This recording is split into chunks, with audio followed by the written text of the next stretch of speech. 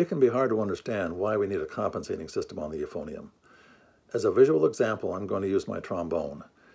The trombone has an F attachment with the trigger, so really it's like a four-valve non-compensating euphonium. To demonstrate, I'm going to use a concert F in the middle of the instrument. That's like a G in treble clef. Normally that concert F is played in first position. I'm going to do that, but then I'll play the same note with the trigger, and it should sound the same. F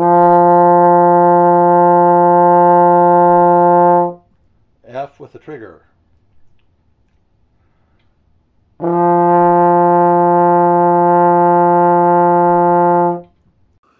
Now I'm going to go down to a D, which is in fourth position on the trombone. That's like the E in treble clef. I'm going to play it first in the normal fourth position. Then I'm going to add the trigger. Now, at that point, it's going to sound very sharp. D in fourth.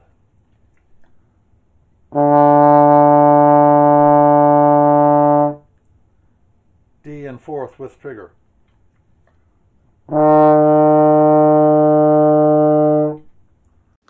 In order to make that note in tune, I'm going to have to move the slide out a little further, which I'll demonstrate here. D in fifth with trigger.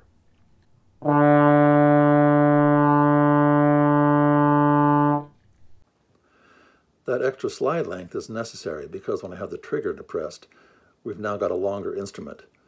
And the slide length that normally would lower it by a minor third down to that D is no longer sufficient to lower a longer instrument down that far. So I have to move the slide out further. That extra slide length that I had to add on the trombone is the same reason we need the compensating system on the euphonium. We have to have a way to add more length, and the compensating system does that for us automatically. On trombone, you have to be aware of what you're doing and move the slide accordingly. On the euphonium, it's taken care of for you with the compensating system.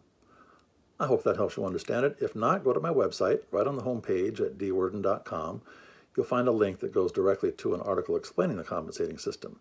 There's even a visual example there where you can click the valves or pictures of the valves and see what the effect of the compensating system is.